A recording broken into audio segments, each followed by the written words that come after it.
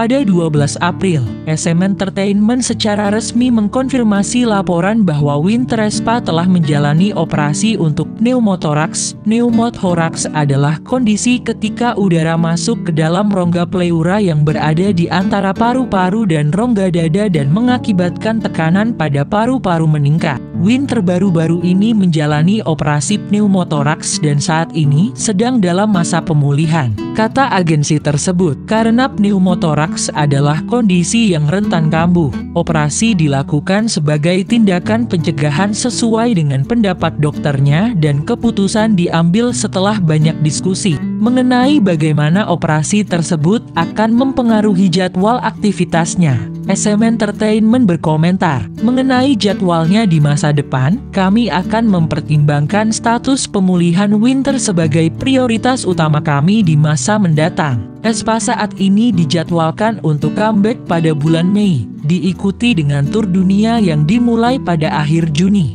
Get well soon Winter.